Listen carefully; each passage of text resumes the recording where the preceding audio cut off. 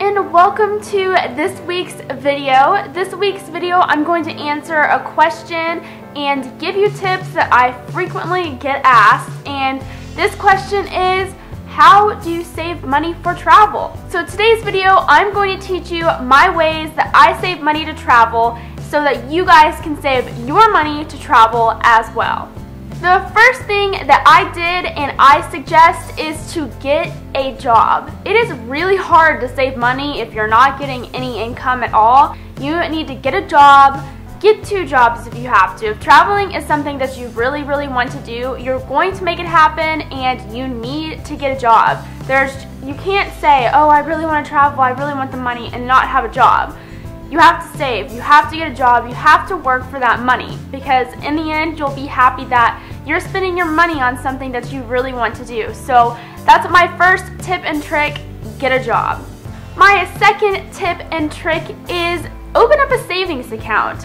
What I do is every other paycheck, I put money into a savings account so I can save that money while I'm also making money to spend. So half of my money I'm spending on things that I need, half of my money I'm going it's going straight to that savings account so I can use for travel or you know down the road when maybe I get married or get a new house or something like that. So I'm saving my money just as much as I am also spending it just so I can have um, you know, a better hold on my money and know what it's going towards and save for something that I actually want to do. It's as simple as that.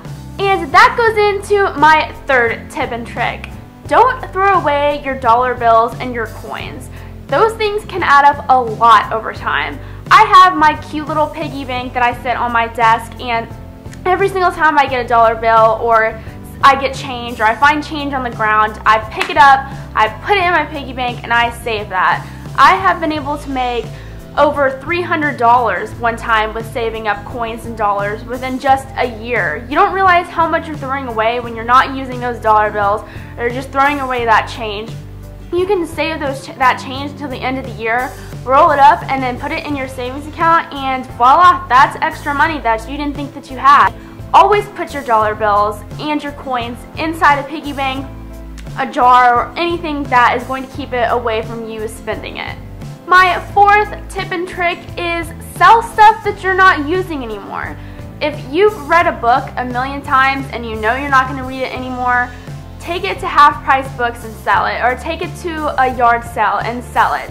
And all those clothes that are in your closet that you're looking at and you're thinking, mm, maybe I might wear this if I go to this, or I might wear this if I go to this, and you're like, I just can't throw it out at this time that's not a good rule. My rule is always if I haven't worn it within a year, then I'm going to sell it at a Plato's Closet, Clothes Mentor, a yard sale, or maybe sell it to one of my friends because you may have worn this thing a million times, but your friends haven't, so your friends might find your clothes brand new. So if you have other friends that maybe need new clothes, ask them.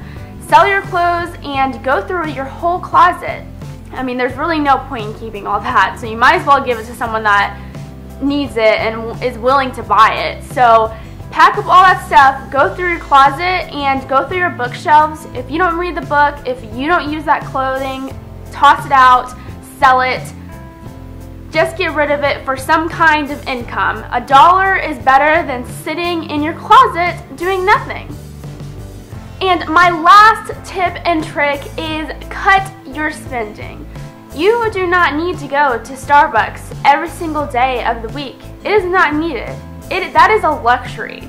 And if you're going to Starbucks every single day, that's great. I'm glad that you can afford that and you're able to do that for yourself. But if you're constantly talking about how you can't save money for travel, yet you're spending money on Starbucks or that cute extra dress every single week, that stuff adds up. I heard once that someone quit smoking and for the whole year they put that money, every single carton of smokes, they would put the money in a jar and they ended up with like 2,500 at the end of the year. The math may be off, but still, that's a ton of money and that's like a whole trip almost. Like you could easily go to somewhere in South America for that much money. So why would you, you know, spend all that money on something that's really a luxury? You don't really need it. It's not a necessity. you just have no room to complain about not being able to save money if you're constantly spending on stuff that you don't need. So that this is more of like a priority thing. You need to sort out your priorities, say, okay, do I really need this dress? Do I really need this Starbucks coffee today? You know, is it okay if I sit down on this one Friday night of drinking? Yes, it is okay because in the end, you're gonna be able to travel. You're gonna go to these amazing places that other people aren't going to because they're spending their money on stuff that they really don't need. Just think about priorities, think about what you need and what you don't need, and cut your spending as much as you can. So that is my last tip. Cut your spending and look at all your priorities and how you're spending your money. So those are my tips and tricks this week. That is how I save my money. People always ask me this. Here are my answers.